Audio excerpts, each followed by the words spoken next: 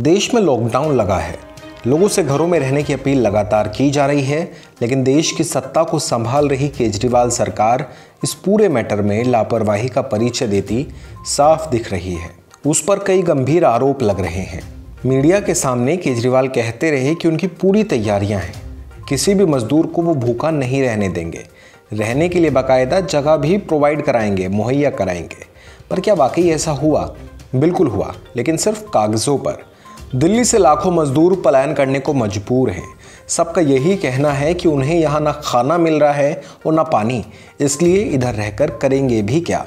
जिस तरीके से पलायन हो रहा है, उससे तो कोई भी यही कहेगा कि केजरीवाल की बातें सिर्फ़ हवा हवा ही हैं और सच्चाई से उनका कोई वास्ता नहीं है। अब आप खुद सोचिए ना, अगर सबका पेट केजरीवाल सरकार ने भरा होता या उन्हें रहने के लिए जगह मुहैया करवाई होती तो क्या इतनी बड़ी संख्या में मजदूर अपने गाँवों के लिए पलायन करते?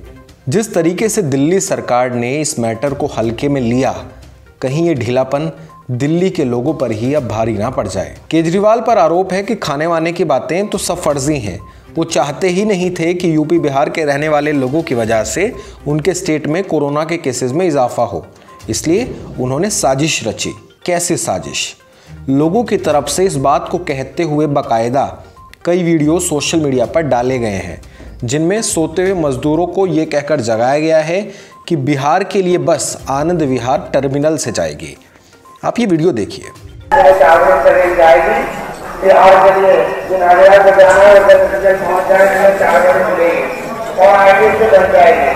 अब सवाल ये कि जब बिहार के सीएम नीतीश कुमार पहले ही ये साफ़ कर चुके हैं कि वो किसी को भी अपने राज्य में नहीं बुलाएँगे, क्योंकि इससे लॉकडाउन का मतलब ही नहीं रहेगा।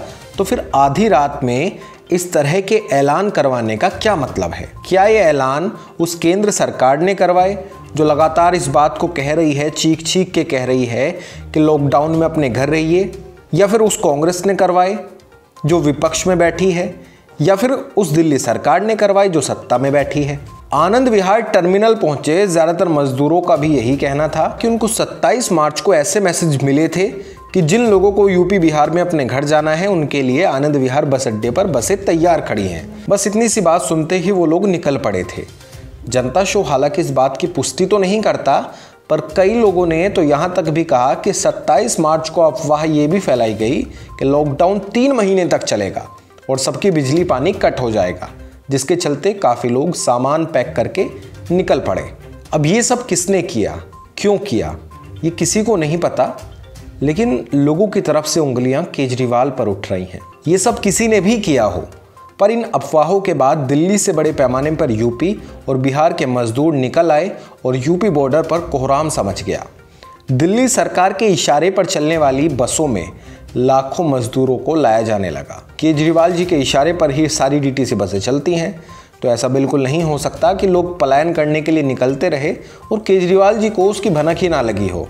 अगर वाकई उनके इंतज़ाम पुख्ता थे तो मत लाते मजदूरों को, रोक देते डीटीसी बसों को। आते मजदूरों के पास उन्हें समझाते पर नहीं, ऐसा कुछ भी नहीं हुआ। ना ही डीटीसी बसें रुकी और ना ही केजरीवाल सरकार का कोई मंत्री उन लोगों को समझाने आया। एक टाइम ऐसा भी रहा जब आनंद विहार बस टर्मिनल पर करीब दो से तीन लाख लोग जमा हो गए। अब सवाल ये उठता है कि कहीं उनमें से किसी को कोरोना जैसी भयंकर बीमारी हो और फिर उसका संक्रमण फैल जाए तो उसके बाद क्या होगा?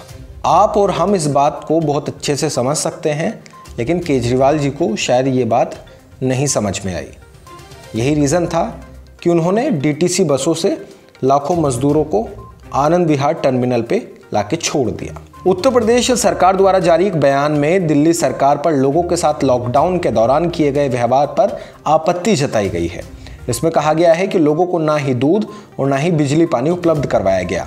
यही नहीं, उन्हें डीटीसी बसों पर बैठाकर बॉर्डर तक इस आश्वासन के साथ भेजा गया कि वहाँ उनके घर जाने का प्रबंध किया गया है। खैर, बाद में जब आनंद विहार पर स्थिति बिगड़ी तो हालात को देखते हुए योगी सरकार एक्शन में आई और तुरंत एक हज़ार बसों का इंतज़ाम कर दिया गया।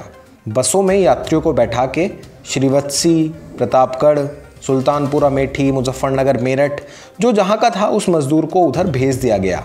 कई बसें बिहार भी भेजी गई। यूपी प्रशासन की तरफ़ से लोगों को खाने पीने की व्यवस्था भी की गई, जिसके बाद स्थिति को कंट्रोल किया जा सका। जब चारों तरफ़ से दिल्ली सरकार को सुनाया गया तो सीएम केजरीवाल फिर से गाँव की ओर लौट रहे यूपी बिहार के लोगों से दिल्ली में ही रुकने की अपील करते दिखे। अरे भैया, इतना दिखावा करने की ज़रूरत ही क्या है? अब दिल्ली यूपी बिहार के मजदूरों से लगभग खाली हो चुका है तो अब किसको खिलाओगे? किसको ठहराओगे? जब वक्त था तो सिर्फ़ कागजों पर प्लान बनाते रहे, लोगों को भगाने की योजना पर काम करते रहे, और जब कुछ ही लोग बचे हैं तो अपने आप को महान दिखा रहे हो। वाह सब वाह। दुनिया सब याद रखेगी, क्योंकि दुनिया ना, चीज़ों को भूलती नहीं है। और ऐसी चीज़ों को तो बिल्कुल नहीं भूलती है, जहाँ उसे कष्ट हुआ हो।